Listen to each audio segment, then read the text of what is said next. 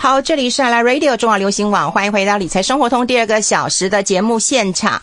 好，我们啊、现场的大艺术家大帅哥已经到了。如果大家想要看看他的庐山真面目的话，那么可以看一下我们的呃直播。我们在中网流行网的 YouTube 频道官网，我们在中网流行网的脸书官网频道，还有在我们中网流行网理财生活通都可以看到。好，我们今天请到的大帅哥来自于南投，那么南投有南投桃，很多人可能没有听过哈。如果我没有认识他，其实我也不知道。那么带来他的一个新书，他这个新书呢也有我的推荐，然后我自己觉得这本书跟这个人还有南头窑都值得大家来了解一下。好，我介绍了这么多，我先介绍一下我身边的大帅哥，我们千秋桃坊的创办人林永胜，永胜好。是好，英文姐好，大家好，干嘛烧虾啦？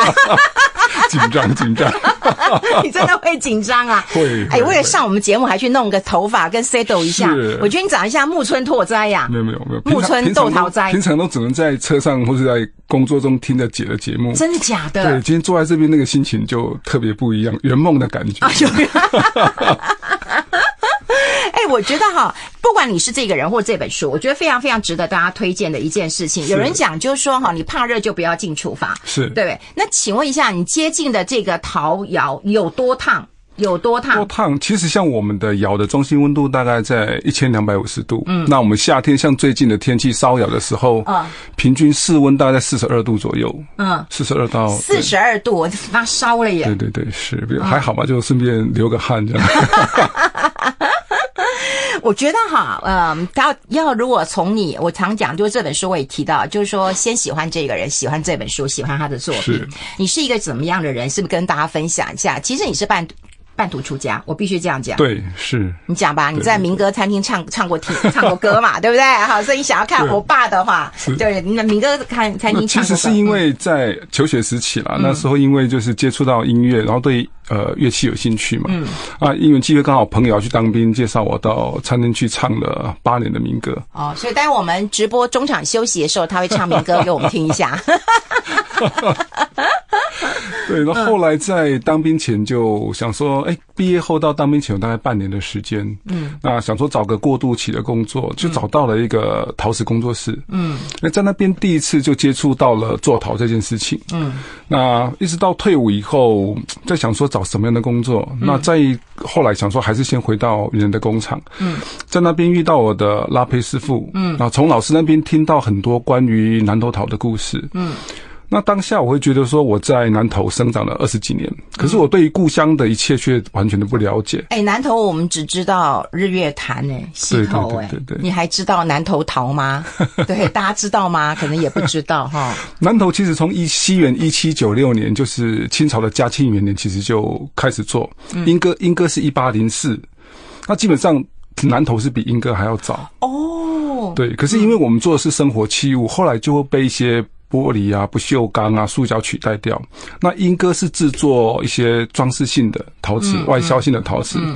那所以它能够一直在传续下来。那南投的东西，因为它一直就是处在一种运输啊、材料各种的困境上，嗯，那后来就被其他材质取代掉，所以后来南投陶就渐渐没落了。嗯，对，到现在目前，南投市剩下的工作室也就几间个人工现在。不是靠你吗？啊，我我大概是唯一有在对外接比较量的、量化的一个工作室，这样。嗯对，南投市里面你看南投唯一只剩下他了。还有啦，就单独有对外接，可能就是我在做这样。嗯，对，因为很可惜，就是说。如果没有这样的机会，我们对于这块土地基本上的认识就会不够多。嗯，那如果我们放任着生活当中或这块土地上的东西一点一点的消失，到最后我们会发现，哎，除了 AI 里面所电脑所制作的各种东西，我我们对于我们原来的记忆跟情感是会不见的。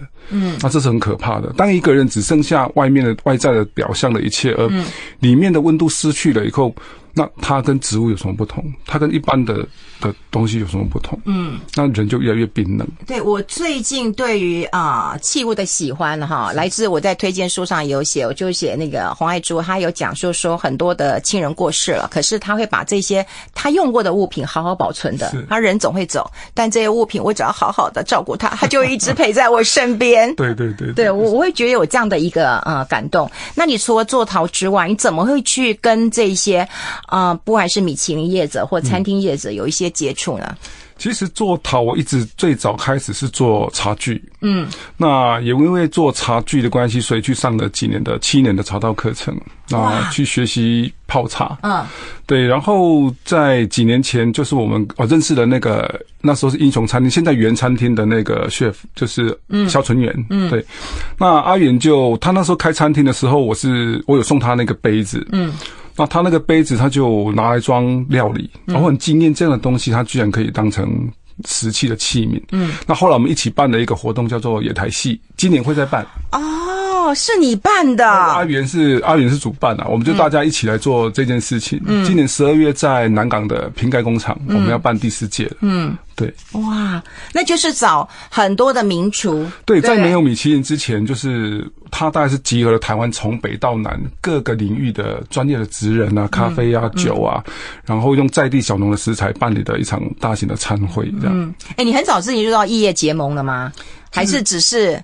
大家 好，其实聚在一起取暖。当时没有想到那么多，那聚在一起，当时也没有想说这个活动能够办成什么样子。那只是说我从这个团体里面感受到我在其他的团队里面没有感受过的氛围。在这里面，大家只问一件事，就是我该做什么。嗯，那没有人去问说，那我能从中获得什么？这个很难得。对对。那像那个屏东远的要命阿卡米的 AS，对你问他说，从屏东来到这里办活动，为什么你会来参加？嗯，他就一句啊，很好玩。玩呢，就这样。我觉得啊，就是啊，不管你是啊有看过啊永胜的脸书，或者你看到这本书啊，他在书中也有提到那个远的要命那家哈，这个店哈，远的要命就阿卡美亚哈，其实它非常远，然后非常的难定。可是我总觉得从你的啊文章当中，从你的器皿当中，可以感受到。温度这件事情，那你的书名又叫七号锥，对不对？七号锥到了哈，这有什么特别的一个意思吗？七号锥，其实温锥大概它就是用来测量温度的一种器皿，它是一个三角形的锥状，就是我们荧幕上现在看到那个东西。你好会介绍啊！对，然后它有不同的编号，五号、六号、七号、八号、九号、十号，甚至十一、十二。嗯，那每一只温锥代表着它不同的温度。七号的温度大概就会在它如果在半岛的情况下是一千两百三十，全岛的情况下是一千两百五十。一千两百五十度。对，但是这个东西在烧窑的过程当中，它到这个是全岛。这是全岛哈。如果大家有看直播的话，因为我们现在听广播，就会知道温锥是一个温度的一个呃这个感测。因为在烧窑的过程当中，其实温度的判别有两个。一个是温度计，嗯，可是温度计它所显示的是透过一支感热棒，那前端的白金去探测到当下的热能反射出来的，转换成一个数字，嗯，那它并不能呈现窑内最真实的状态。那温锥是跟着作品在里面一起烧的，它不能放个温度计吗？温度计它有温度计啊，但是它传输出来只有温度，它不能呈现釉药或是胚体的。真实的状态哦。那如果你看直播，看到现在有前面站着的跟后面倒掉的，对对对，它是不同的温度的呈现。所以在烧的过程当中，我们会在那个判用温锥来判断我什么时候去关火。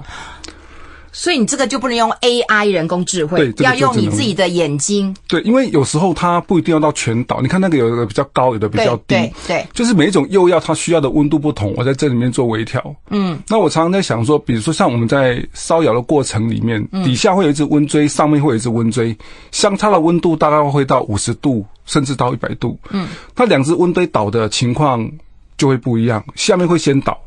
嗯，那倒了以后，你有两个选择，一个是把火关了，嗯，一个是等待上面的温锥倒了再来关。那等到上面的温锥倒了，有很很大的可能性是下面的它温度就超过了。那会怎样？它失它可能就会会变形啊，会起泡啊，会有各种其他的状况。可是我觉得这个就跟人生一样，我们在人生的会为自己设下很多不同的人生目标，嗯，会有很多不同七号锥。当这只锥倒了以后。你会往眼睛往前看，继续追追寻下一个。可是当我们在追寻下一个的时候，我们会忘记我们已经失去在身边，不小心失去或是赔偿的那些东西。好文青哦，没有，我都觉得眼泪都快要 快要流出来了。我们先休息一下，好不好？接一下广告。好，我们持续跟我们呃千秋淘坊的创办人林永胜啊，跟大家聊聊他的七号追岛了哈，其实是温追的一个概念啦。好，那刚有这么多的一个啊号码，然后你可以感受到就它的一个热度啦。这很像就是我刚刚听你这样讲的时候，我会觉得就是我妈在煮菜的时候，总是有个那个中华炒菜锅，然后她永远都很喜欢手在上面摸一下。我就跟她说妈，你可以看一下那个油起泡泡。她说不用，我一摸我就知道可不可以了。我觉得很感动啊。嗯，就你们已经到。内化到这种程度，对，就像你看西方的那些料理，它有一定的配方，它有它的那个配方都是多少。可是，在东方，尤其是我们台湾或中国料理里面，它的调味料就是少许。嗯，那什么叫少许？对，它不是它不是一个随便，而是它是在经年累月的累积当中，他知道这样的东西它最适合。嗯，他不需要秤，他是用身体去感知他所要使用的材料。嗯，那在使用的过程，像我这次在日本的那个五雄温泉那边。有一家居酒屋，他说他就用手去抓，他说这样的盐是三克，这样是六克，这样是九克。他说你称称看，这个并不是去炫技去抓，说刻意的去衡量这个多少，而是。看得到职人对于料理的用心，嗯，他去让自己说这样子，今年累月操作下来以后，他有一个精准度，他不是随便在做。哎，我知道前不久你去日本做了一个啊，这个像田野调查一样，而且去访问当地有很多的作家，对对不对？然后跟他们交换一下他们陶艺的一个手法技法，对不对？对，就是在这次去走访了那个整个北九州，嗯，去了两个礼拜，然后自己背着背包就去拜访，哦，行前有写信跟他们说要去拜访这个。事情，然后获得了很大的一个，呃，很多的感动跟一些呃知识上的交流，这样。嗯嗯，他们都会不吝惜的跟你分享。对，然后因为他们。在日本做陶跟台湾做陶很大的差别是，他们分工分得很细。嗯，做窑的就专门做窑，研究材料专门做材料。那管销售的管转销售。没有啊，你是一条龙服务啊。对我们机器坏了，打电话请厂商来修。他说啊，我这个礼拜没空，我可能下个礼拜五。嗯，可是我要出货，不可能等你来啊。对啊，你开一下视讯啊，你转这个调这个，然后零件寄下来。所以到后我们都快要变成中部机器可以做维修。哎，那那我们来聊一聊啊，也就是说，大家会认为艺术跟那个商业价值是是相抵触的，是对吧？啊，艺艺术家就是有他的一个坚持，或者是有他的专业，或者是傲慢，不同的一个形容词啊，总是他很坚持他自己的产品。但商业有商业的一个呃使用的价值跟空间，对，你怎么样把两个平衡在一起啊？其实我在刚开始在创作工作室的过程当中，我会觉得自己就是要当一个艺术家。对，我要当陶艺家，我就是要很有名、很有钱，盖很漂亮的房子。哦，人生就是三个目标。对，书里面有写嘛。可是，后来就会发现说，那什么样的方式很有名？你做任何事情，它都能很有名。在这个资讯发达的时代，嗯，那你要很有钱，到底你拥有了多少钱以后，你愿意停下脚步，不再追求？嗯，那很漂亮的房子是建筑很漂亮，还是里面让你跟你在一起的人很舒服？你觉得它很好？嗯。所以我在追求过程当中，当时那个阶段做的东西都是，其实自己也不知道为什么做，反正它就是技术难度很高，烧成难度很高。嗯，那它就是一个艺术品。当下我这样觉得。嗯，可是慢慢的后来就会发现，其实那不符合了我的个性。真正的艺术品，它并不在于它是否是一个实用器皿，而是。制作者他本身的生命能量，他有没有丰沛到满出来，甚至让你看了能够感动？嗯，就像我这次之前在看很很多看那个草间弥生的南瓜啊，对，他的点点的东西，对，很多人说那就是一个神经病做的东西，他就很多的点，那个怎么能成为艺术？对，还有人说那个我也会画，对。可是这一次我站在他的那个作品的前面的时候，我很感动，非常非常的感动。那当下震撼是来自于你感受到他所情绪的压迫、压缩、释放出来的那种紧缩在释放的那种感觉。嗯，所以好的艺术品不在于说啊，我是艺术家，我就是艺术家。你是个什么样的角色，是别人来给你的评判，而不是你想成为什么就能成为什么。嗯，现在那些市场上、国际市场上拍卖那些作品，很多都是当时的使用器物啊，在皇宫里面的器物。嗯。它也是艺术品啊，嗯，那来自于这些工匠，他们这样呕心沥血，然后用生命、用情感去淬炼出来的东西，而不在于它是一个什么样的作品。对，可是艺术家是我想做什么就做什么，以我为主的。对，可是商业的应用不是，是我要接呃，对不对？我要下什么单，你要做什么东西给我的，你什么时候可以臣臣服、顺服这些商家呢？你会觉得他们真蠢啊！他们真的什么都不懂啊！他们只会压迫我啊！所以前一阵子有一家米其林餐厅来找我嘛，然后他们那个老板娘就问我说：“哎，为什么这些米其林餐厅都愿意来找你合作？”对对，嗯我说大概是我妥协度高吧，我配合度高。嗯，当然在技术上有我们的坚持，可是，在器皿上，毕竟使用者要好用，他才愿意拿出来用。嗯柳宗悦讲说，器物之美在于用。嗯，如果只是摆饰，那器物没有它存在的意义跟价值。嗯，既然是器物，它是生活器物，就应该以使用者为主要的考量。嗯，作为一个艺术家，可以不考虑别人，但是要么你不要结婚。你一旦结婚了以后，你有身边有需要照顾的人，嗯，如果你没有先照顾好你身边的人，嗯，那让大家都过得很辛苦，凭什么所有的人要拿他的生命跟拿他的生活品质来成就你一个人？嗯，你的艺术成就能够影响全人类吗？能够影响更高层面的人吗？嗯，如果没有，那不叫追求艺术，那叫自私的追求。嗯，哎，我们俩看到就是你有带的一些图片，对不对？是这张图片是哦，左边那个单独茶壶，下面有个盘子，那个是因为我早期在做的时候是做花器跟各种生活器皿，对，那后来做了茶具以后，对我产生很大的影响，因为学茶的过程当中开始学会，原来器皿的实用度跟功能性是有冲突的，就我们刚聊的那个问题。嗯，那你天平你要摆向哪一边？嗯，所以我选择了在这个器皿里面，它可以没有我，嗯，但是使用者他要觉得很好用。对。我曾经也听你讲过，那个倒茶的时候，那盖子会翻开耶。对对对，你的就不会我的不，我的超过九十度它都不会掉，对但是它是密合度，它不是用它的前面去卡住它。嗯，对，对。可是有时候你看，我们买了一些茶具，哎，它倒了一一一桌都是啊。所以所以这些是要你自己使用过之后。对，像我的漆，我追求的它就不是一个很让你一眼看到就很惊艳的器型。嗯，因为在设计学上，我们会知道实用的功能跟造型往往是相冲突的。，对对，那我会比较偏向于实用功能这一块，所以我会选择在很多的时候我会放弃我自己的想法，但是我会把它用在比较细的地方，像。这个碗，这个是我几年前帮台湾轩尼诗做的那个礼盒。嗯，那它的碗外面看起来它就是一个平的光滑的碗，对，就是一个碗，但是你只要摸到里面，就会但是你一摸，你就发现它中间的口缘的这个地方，很不一样，很不一样它是。稍微有点收口，那使用上的喝汤的感觉就会很不一样我们。先休息一下。好，欢迎回来《理财生活通》，我是夏云芬，在我旁边的就是千秋淘坊的创办人林永胜了哈，带来他的新书，我们也有在我们的贴在粉丝团当中，那么也有如果看直播的话，在我们荧幕当中就可以可看得到了哈。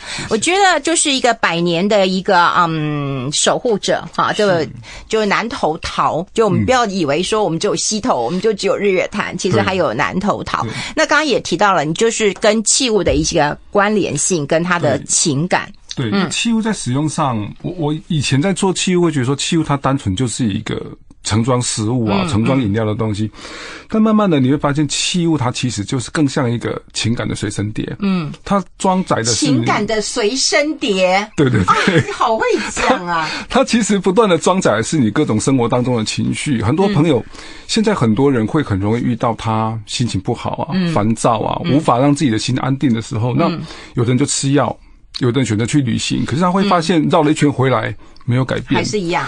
可是自我疗愈是一个最好的方法。嗯，那我们会在生活当中，我们会去存钱。嗯，可是我们能不能有一个习惯是储存自己的好情绪？嗯，我我随便一个杯子，哪怕是大卖场二十块买的杯子，嗯，它不一定要是名家做的，不一定要是要手做的。嗯，可是当我这个杯子就是我很喜欢的杯子，当我心情很好的时候，我拿来喝茶。嗯，平常时我不用。当我有开心的事情的时候，哎，我拿来喝。嗯，我有什么高兴的事情，我拿来喝。平常他就不会用。嗯，有一天当我们情绪很低落的时候，哎，你不知道怎么办的时候，嗯，拿起这个杯子，里面装的是你满满的快乐、开心的回忆。透过喝的这个水，给自己补充更多的正能量。所以，一个器物它不单只是拿来盛装食物，它也可以用来储存自己的好的情绪、好的情感。嗯，它是一个自己的充电的，呃，我们的随时那个叫做那个什么。你刚刚讲随身碟啊，随身碟或者是一个充电的那个、充电宝吗充电宝，对对对，就是可以让自己充电。行动电源。对行动电源。我 最近常常很多名字很多词汇想不起来，就是年纪有了。年纪有了，不过我知道啊，我就是看了你的书之后，因为坦白讲，我觉得蛮开心的，因为我大概是少数在你还没有出版之前就看到文章的人嘛，哈。然后我就觉得说啊，原来。呃，烧制这个嗯陶器其实是蛮辛苦的，因为有时候它可能不符合你的预期，对你可能一打开那个刹那之间，它可能全毁了，对。跟你要的颜色不一样，跟你要的成品不一样，那时候心情是怎样？的？其实那个打开窑门的那个当下，嗯，你心情会很很低落，嗯。但是那个情绪很快就会过去，因为你知道低落你改变不了事实，嗯，那就是重新收拾自己的情绪，嗯，好好坐下来，嗯，泡一壶茶，想想接下来该怎么做，嗯，对，就呼呼的点来呀、对对对，就就只能这个样子啊，因为你在、你情绪一直在那边低落，也无济于事啊。嗯，对，所以这个时候就会让自己喝个茶，安静一下，这样。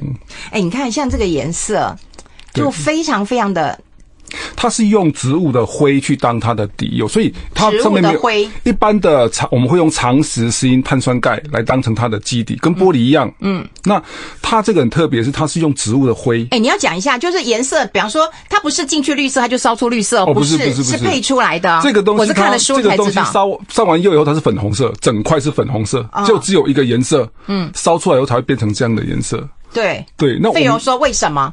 你有没有看到唇语？对，因为氧化金属它是用氧化铁发射，那铁就是粉红色。你这样讲他听不懂。对，哦，哦，好，我们现在准备找，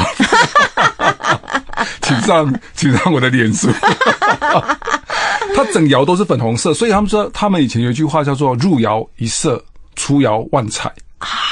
当进去的时候的颜色都一样，那烧出来的油脂有时候就会超过预期，有时候就会不如预期。嗯，那这个盘子也是我们帮远的要命的阿 Cam 的那个 AS 做的盘子。他说：“哎，我要有山上的感觉，嗯，要有烟熏的感觉，嗯，要有森林里面的青苔。嗯，这个盘子是第一次做的，后来还跟我说：，哎，我还有天空的蓝，所以后来又加了蓝色。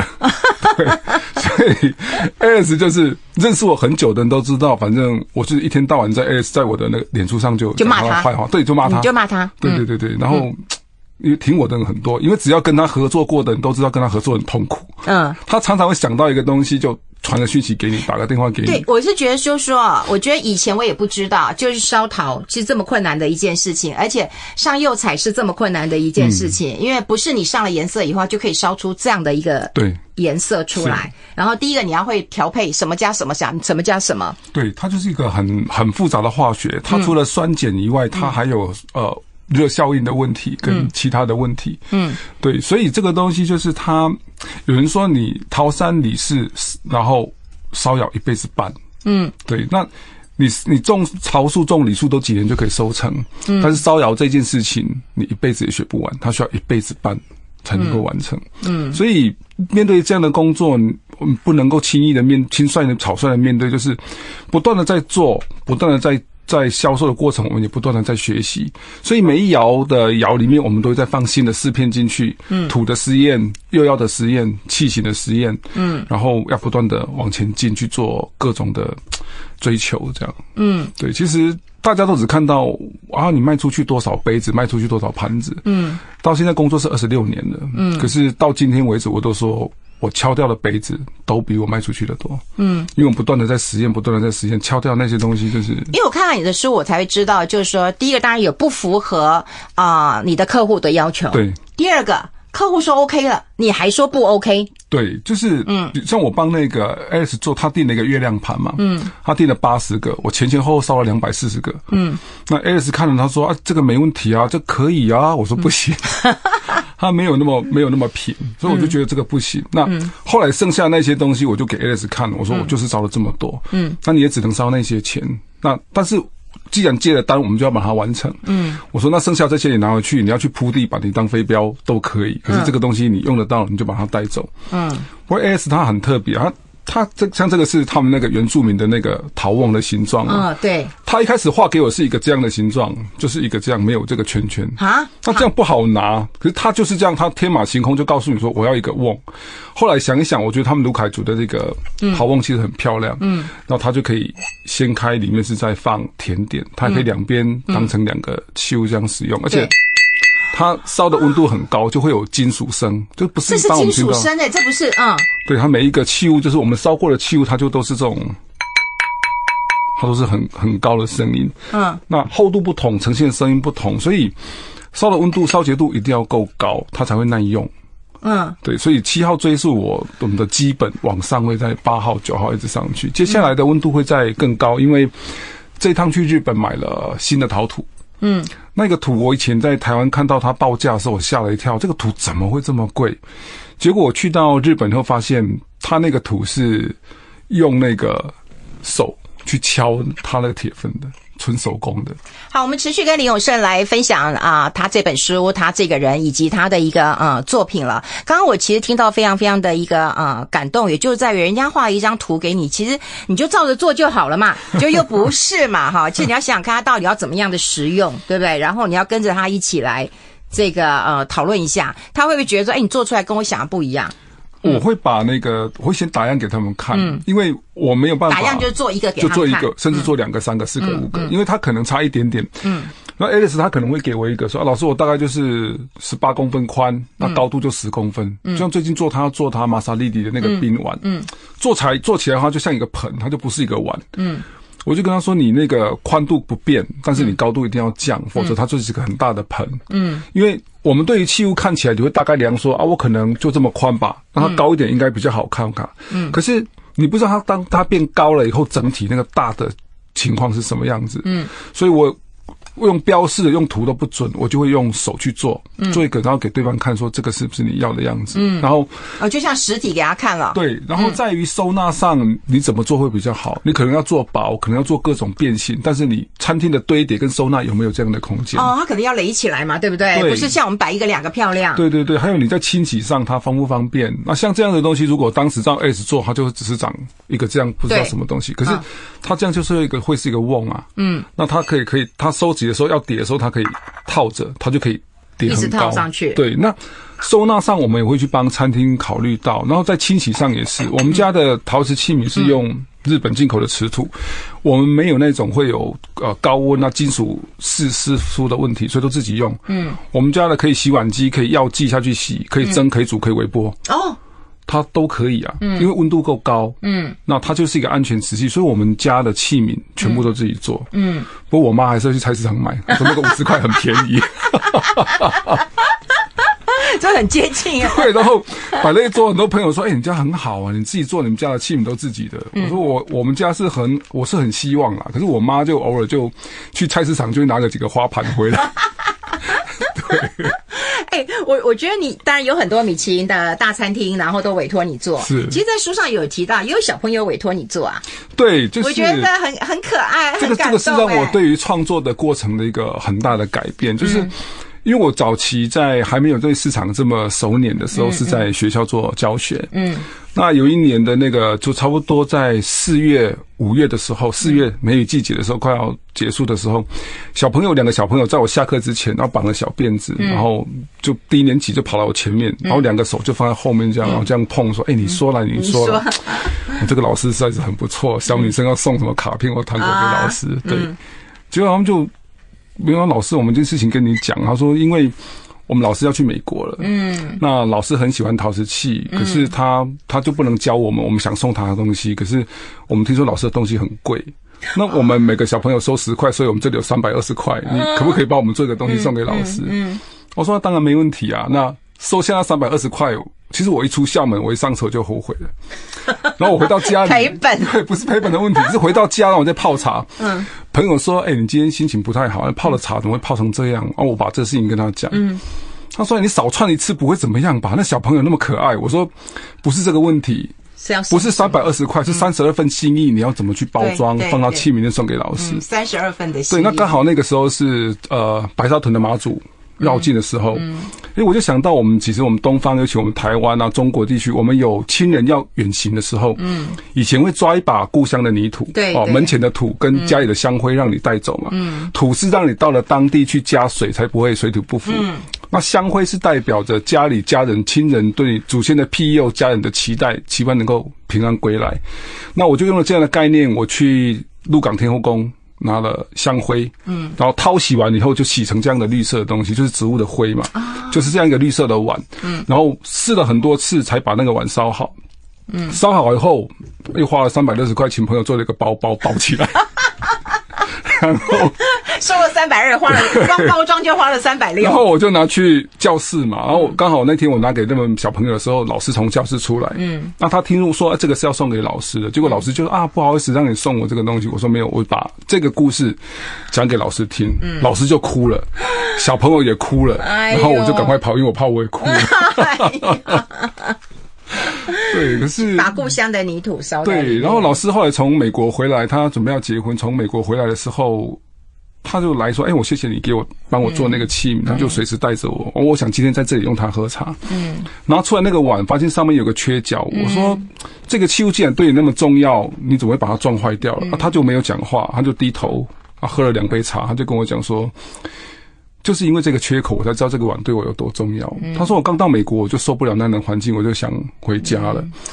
然后跟家里沟通了很久，好不容易家里同意我回来，收拾完行李，我就把那个碗拿出来泡茶。哦，准备可以订机票可以回家了。他说，你知道吗？当我拿着那个碗，我一冲水，当我碰到那个碗的时候，嗯，他说我听到三十二个小朋友跟我说：“老师加油，老师你要加油。”他说：“我怎么回去面对那些小朋友？说老师受不了寂寞，老师想家，所以我回来了。”嗯，他又打一通电话跟家里说：“我觉得我我可以再试试看。”所以他说，每当他情绪不好啊、想家的时候，他就会去用那三十二个小朋友的鼓励，让他继续持续下来。那为什么会撞到？是因为他有一天去参加前天晚上参加朋友的 party，嗯，那隔天早上赶着出门，他习惯带着他，他没有用布包装，直接丢到包包里面。嗯。然后出门的时候不小心撞到，他听到有撞到的声音，他一整天心情都不好，嗯，提前回家，那心情很低落。结果那天晚上他就看着那个碗在自责，说为什么我会去把它撞坏掉？这个这么重要。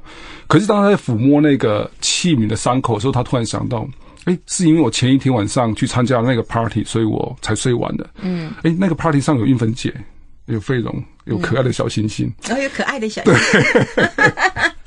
就透过这个这个缺口，会让你唤起那一个夜晚的美好跟朋友。所以器物它坏了，除非它不能用，它破坏了就是机，就是它的情感水晶碟的机体满了，把它收好。但对于这个器物的回忆跟情感，它永远都在啊。如果大家会这么珍惜器物，那我制作器物怎么可以随便？我当然是要用尽更大的心力去把这件器物做好，不管是器型、又要，我们都应该更努力去把它做好才对。嗯。如果我在现场，我觉得我应该也会哭的那个人。看你的书的时候，我都会觉得有很多很多的温暖，然后有很多很多止不住的一个泪水。但但我们要聊一聊一个妈妈，就是妈妈把这个孩子的作品弄坏了，然后来找你挂急诊。好，然后那边的对话也让我觉得很感动。我们待会儿来聊聊这一段。我们先休息一下，进一下广告。好，我们持续跟我们林永胜来啊分享一下啦，因为我觉得他是一个孤独的修行者，所以他对于啊他的生活、他的逃，然后他的呃生活的一个类型跟啊心里的所思所想，那完成这本书，我觉得有很多感动的故事跟大家做一个分享。那刚刚有提提到老师的礼物啊，三个呃三十二位小朋友的礼物，其实有一个那个妈妈弄坏了小孩的作品，其实因为可能是我是妈妈，我看的很有感，那种很焦急，然后又碰到孩子的那种不体谅，这个，可以当当为父当做父母就可以提。那那种，那种心情，那是一个有点夏天，因为我在学校上课，那就有一个朋友打电话来说，哎，他可不可以？他是经过人家介绍，想要请我帮他做大学毕业制作的东西。嗯，那我想说，那应该没问题啊，但他时间很赶。嗯，那在嗯有限的时间内，我想说，那我还是必须帮他完成。嗯，那完成的那一天，我们前面当然经过讨论啊、制作啊、打样啊，后来在预定的时间内把东西做好。嗯。可是做好那天，那个小朋友没有空来，他请妈妈来拿。嗯，那我把东西包好，拆开你看，检查完了以后，妈妈把东西带走了。嗯，带走以后过几天，妈妈又来了。妈妈就对他，他先他先打电话给我，他说：“老师不好意思，我我可不可以拜托你一件事情？”这样，我想说什么事？他说他不小心把那个作品在搬的时候，他没有注意到那个方向，所以把他的东西撞坏了。然后撞坏了以后，他说这个东西就因为当时我已经讲我后面很忙，而且没有时间再制作。对，那女儿就很生气，就这件事情就骂了妈妈，怎么会不小心？然后就一直骂骂我的妈妈，就是很惨。妈妈就头就低低的，就是让女儿这样子骂。然后我就觉得说这个东西后来就啊，可不可以帮他把这个东西做完？我说这个东西我可能。我需要一点时间，对，真的播不出时间。对对，我说那我我我先我试试看，那我没有先跟你讲说我能不能把它做完。嗯，那他回去以后，我其实我那时候我在写部落格，我在部落格上写，我跟他说你晚上看一下我部落格，因为那时候没有脸书嘛，我说你看一下部落格，我把进度拍给你看。嗯，那当天晚上我没有放部落格，其实我写了另外一个故事给给他看，就是他是我一个在茶山做茶的朋友的故事。他当时是在大学里面念书，然后也是准备做毕业制作。嗯，那爸爸生病住院，弟弟去照顾他。嗯，那他回到家里去做他的毕业制作，他想说不要有人干扰，那回家帮忙也照看一下。嗯。那有些妈妈就跟他说：“啊，你那个你爸跟你你弟没有衣服可以换，你帮他拿个衣服去医院给他。”嗯，那他说好啊，那他就说：“我这个电脑你都不要动我的东西。”嗯，然后他就出去了。回来以后发现奇怪，那个电脑怎么没有电，什么都没有了。嗯，然后他妈问他问他妈妈说：“你是不是动我的电脑了？”嗯，他说：“啊，那个这样子一直亮着浪费电，我等下错掉啊，看不问题。”他他就很生气，他当下就很生气。他说：“你知道吗？你这样会让我毕不了业。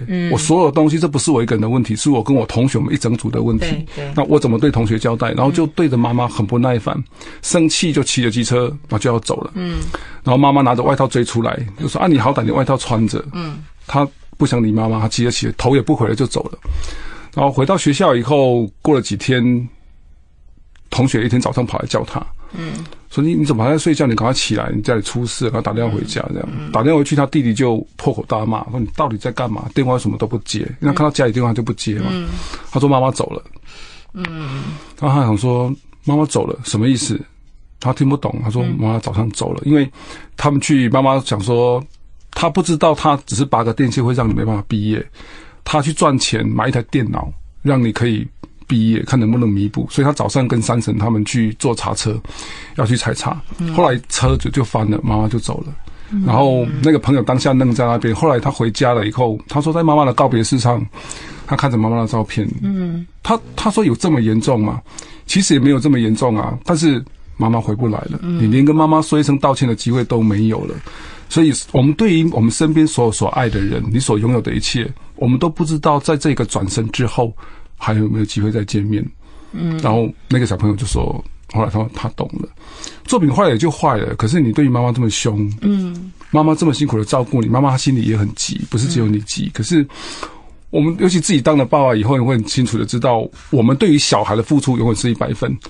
看到好吃的就觉得，哎，这个买了给儿子吃，这个买了给女儿吃。可是我们曾几何时有想过说，这个我爸爸爱吃。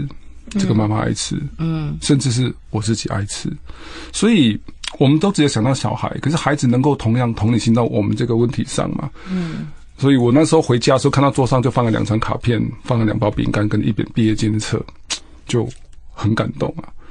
就像我我们那个送土的司机，一个年轻的司机送送土来，嗯，载了两个小孩在车上，嗯。我说你怎么会载小孩子出来送土？他说啊，老婆要上班啊，孩子没人顾。我说几岁？他说一个一岁，一个三岁。嗯，那我就去拿了一些饼干要给小朋友吃。小朋友就那个三岁的哥哥就一手抱着弟弟，那手就伸到窗户外跟我拿饼干。嗯，然后我就跟他说：“你这趟送完就回家了吧？”他说：“没有啊，下着大雨，他还是要带着孩子去去去送肥料，去送什么东西？因为他只是回头车，顺便送了我的东西。”我说你这样很辛苦哎，嗯，他就看着外面的车上，就跟我指着孩子说：“没有啦，他们比较辛苦。”当下我就会觉得说，做父母的永远不会觉得自己为孩子做了多少，为这个家庭付出多少有辛苦，他反而是觉得说他们比较辛苦。嗯，可是当孩子长大后，当作为子女的我们长大后，我们曾几何时曾经想过？爸爸妈妈比较辛苦，嗯，我们都觉得我们很累啊。我有这么多的东西，你也不懂，跟你讲你也不懂，你也看不懂。我吃的东西你也不懂，买的东西你也不懂，你还要管我。可是因为父母照顾我们，他们的世界只有我们，他没有办法跟我们一样去看世界，他不能理解我们是理所当然。所以，是不是我们能够用我们的眼睛将我们看到的东西，多一点时间跟耐心，再回馈给我们的父母？因为我们真的不知道什么时候一回头。你连说声再见的机会都没有。嗯嗯，对，所以就是一个有温度的人，然后他的 作品跟他的书跟他的内容都会很不一样。最后还有一点时间，我们提到了父母，我可以问你一下吗？是，就是我们对孩子你会偏心吗？我觉得母亲比较不会偏心，但父亲很容易偏心。呃，你有吗？我基我让你澄清基本上我都觉得我没有，对我对每个女儿都一样。每个女儿。其实没有了，我就 像我们家儿子一个女儿，对，可是我都觉得没有啊。但是像因为我我常我们家小孩他们感情很好，非常好。嗯，因为儿子知道从小姐姐有的，弟弟也会有，弟弟有的姐姐也一定有。嗯，只是因为在互动上，在兴趣上，女儿跟我比较像，她喜欢拍照。她喜欢看美的东西，嗯，他喜欢安静的坐在那边看风景，感受风吹，感受花开，嗯。那儿子喜欢的东西比较外向，比较活泼，所以是这边的差异。但是，就像我去日本，我跟儿子跟女儿三个人在那边拍照，大家也说：“哎呦，好好，带女儿去日本玩。” 明明是三个人。也没有办法，所以我只能说没有啦，我没有偏心，我对每个女儿都一样。哎呦，你看，我觉得我们听众朋友都很了解我。他说你这样说，月芬姐都要哭了。你看，就觉得，我就我就我就觉得我的听众朋友特别了解我。是，对。但我跟你保证，你看了这本书，你跟我一样，你也会很想哭。可是我觉得啊，其实哭很像厨师机一样。其实我自己写那一篇那个《的岛婚柜》，我是一边哭一边哭。一边写完的，想到外婆，因为外婆对我影响很大。现在我走过那个地方，就是真的那个淡淡的甜味，但是里面是对外婆浓浓的思念。嗯，我就一边写一边掉眼泪，到后来是完全写不下去。嗯，对，尤其写到外婆住院那一段。嗯，所以我给他的序是写他的温度。那我也觉得大家其实都有温度，我们就把温度找回来。好，我们七号追倒了，跟大家做一个分享。也谢谢林永生到我们的节目现场，谢谢大家，谢谢，拜拜，拜拜，谢谢。